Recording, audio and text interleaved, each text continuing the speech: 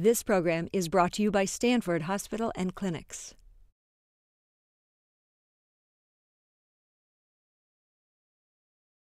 Hi, uh, my name is Yann Meunier. I'm the Director of International Corporate Affairs and Business Development at Stanford Hospital and Clinics.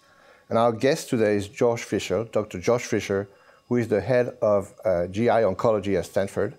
And let me ask you first, Dr. Fisher, what do you do exactly as the head of GI oncology at Stanford? Yeah, it's not always obvious, is it?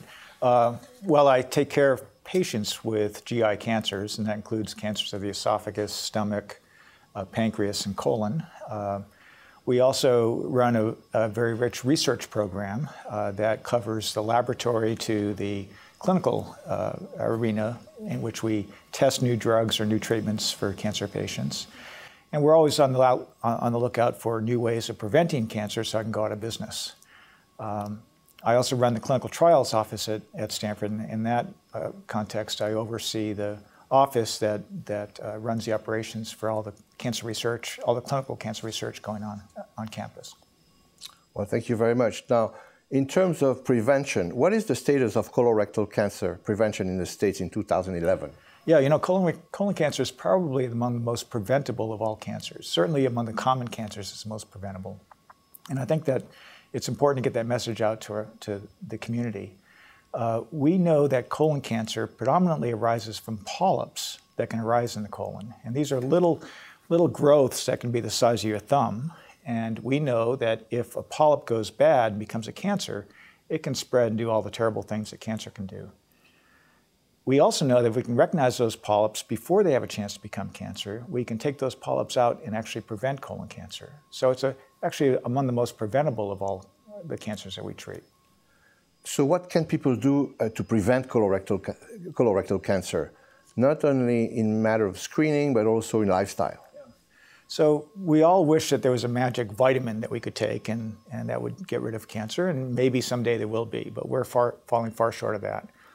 There are certainly correlations with diet and behavior, and if we could get everyone to go out and exercise vigorously, and if we could get everyone to eat their fruits and vegetables and decrease their meat consumption, uh, we may be able to decrease the risk of colon cancer, maybe by 20% or so, perhaps in some estimates as much as 30%. So there's no doubt that healthy lifestyles are part of the, uh, of the factor. But as you, you and I both know, it's not so easy to convince people to adopt healthy lifestyles. And even those that we do, they still have a risk of colon cancer. So it's not good enough to be healthy. Now, of course, I should add that smoking is also one of the culprits in causing colon cancer among so many other cancers. So doing away with smoking would be a good start uh, in any case.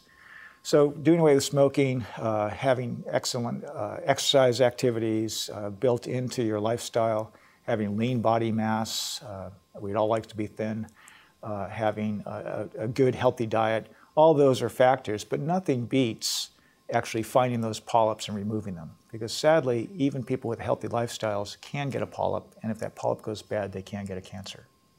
So the mainstay of prevention uh, these days is colonoscopy.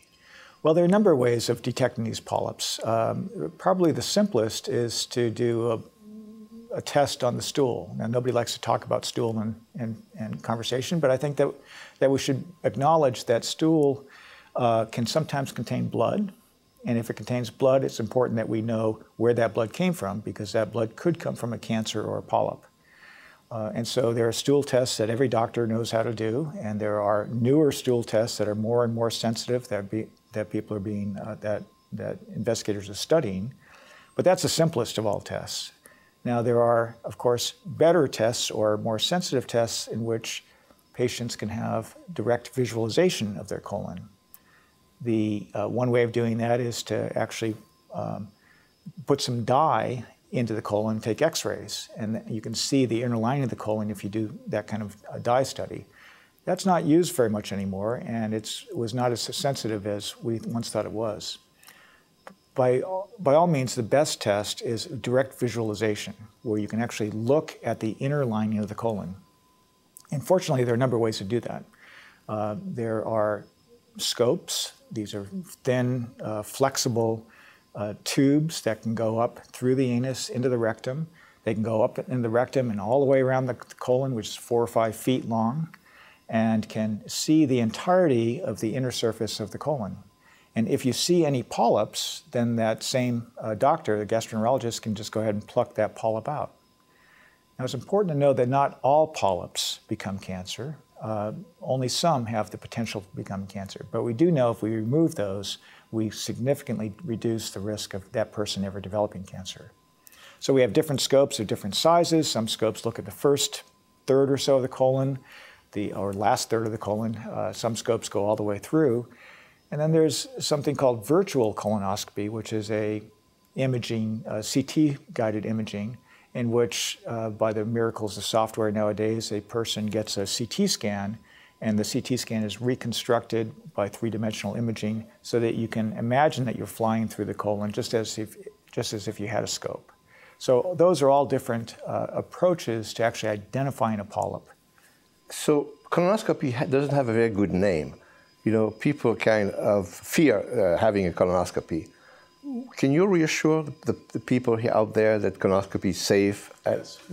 I, I, think it does need a different name, actually. and maybe you should take the colon part right out of the word colonoscopy. Uh, but, uh, but we don't have marketing people that bright, I guess. So the, the colonoscopy is uh, uh, no one would voluntarily walk into a doctor's office and say, "Would you put this tube five feet long up up my uh, my bottom?" And and that is uh, a concern. The colonoscopy, probably the toughest part of colonoscopy is the night before the colonoscopy, because in order to see all the polyps, you have to have a clean colon, and so in order to have a clean colon. Uh, the doctors give you uh, medications to take, liquids to take that will actually clean it out. So, in order to get a clean colon, you have some diarrhea the night before. Uh, once you get through that, you go ahead and, have a colonoscopy with various levels of sedatives so that you can be comfortable. Um, and then the doctor will do the procedure, most of the time with a minimal amount of discomfort. And In fact, many times with no discomfort whatsoever and eat barely memory of the event. Um, and the doctor will go ahead and, and, just simply look up through the colon. And if the doctor finds any polyps, they can simply remove them. And there's no pain with removing the polyps. So it's not as if there are pain fibers with that minor uh, surgical clip that they use. They just simply clip off the polyp, take a sample, and send it off to the pathologist. Um, so the entire procedure is really not a, a, a horrific experience. Uh, it does take probably one work day uh, out, of, out of your life. But I think that's a small price to pay every 10 years to significantly decrease the risk of ever dying of colon cancer. People who don't want to have a colonoscopy often cite uh, perforation or bleeding as side effects. That's uh, the reason why they don't want to do it. Well, uh, certainly any procedure that we do in medicine can have side effects, and, and there's been a lot of press recently about CT scans and, and what risk is the radiation of CT scans. So we have to, we have to take those into account whenever we make uh, recommendations across the board. And so we do look, we, we do reserve colonoscopy for those people who we feel are at some reasonable risk of developing colon cancer. So we would not do colonoscopies on 20 year olds, even if they wanted them, um, uh, unless there was a clear clinical reason that they needed it because their risk is so low. Now, if somebody had a family history of colon cancer or had a gene that we knew could give rise to colon cancer, we would start recommending screening even at 20 or 25 years old. But for, uh, for since colon cancer becomes more frequent or more common in, in an older age group, we generally start colon cancer screening at age 50 and we feel that the risk of a 50 year old developing colon cancer is high enough that it warrants getting this procedure. Now, that risk has to be balanced by the very rare side effects of the procedure, and there, and there are, is a possibility of, of, going up there and having a very small hole in the colon, and that's what you refer to as a perforation of the colon. And that sometimes can be very serious, even in emergency, and other times it's just a reason to watch the patient more closely. That happens in, in, fewer than a fraction of a percent of patients, so it's really, really quite rare. Um, otherwise, I think that the main side effect is a day off of work or life or whatever else you're doing because it does take your energy out uh, for that procedure. Uh, but you can return work to work the next day, certainly. Uh, it is a little bit of, uncomf- uh, of discomfort uh, of going in and having the procedure. You're fatigued, and you have a night the night before where you have to have a number of bowel movements in order to clean the colon. But I think it, overall the risk and the benefit are fairly well established in favor of the benefit, providing we're looking at the right population of patients. And finally, I would like, I would like to ask you about the future of colorectal uh, cancer prevention. Are we going to move one day beyond colonoscopy or? Oh, absolutely. I think that uh, all of our cancer tests uh, are imperfect. Uh, we have yet to find the test that will detect the cancer in every individual who has it, or will be, will be able to tell us that that individual has no cancer with, with absolute certainty. Uh, but I think our tests are getting better and better. And with further research, with further clinical trials, I think that uh, we're developing new colonoscopes that are safer. We're developing uh, new DNA tests to look for the DNA and, and uh, that's characteristic of cancers. Uh, we're looking at uh, blood tests even now that, that have tremendous potential for, for helping us determine whether a person has a colon cancer or not. These are all really on the horizon. None of them, uh, they're, they're, not quite ready for prime time, but, but they're getting there. And I, I'm, I'm optimistic that we will have something as simple as a urine test or, or perhaps a stool test still that will give us a yay or nay on whether somebody needs a colonoscopy to, have, to remove a polyp. So we're getting there. So uh, has colonoscopy been successful in preventing colorectal cancer in the United States? Well, absolutely. There, there's no doubt that uh, the incidence of colon cancer has come, come down uh, we think because we're identifying these polyps and removing polyps. So, so the risk of dying of colon cancer has come down for two reasons. One is because we have much better treatments for colon cancer. Uh, our, our, new drugs, uh, better surgeries are, are, more effective for patients who are diagnosed with the disease. Two is that we're diagnosing colon cancer earlier, in part due to tests such as colonoscopy, and hopefully by getting awareness out to the community that colon cancer, the symptoms of colon cancer, and, and how to recognize it so we can get an early diagnosis for patients. An earlier diagnosis for almost every cancer leads to a better outcome and better chance of cure. And thirdly, and I think most importantly, is that, that through uh, greater adherence to uh, screening guidelines, whether it's stool tests, whether it's uh, colonoscopies or virtual colonoscopies by CT scan, we're beginning to recognize polyps, remove polyps, and therefore decrease the, the uh, incidence of, of even developing a colon cancer.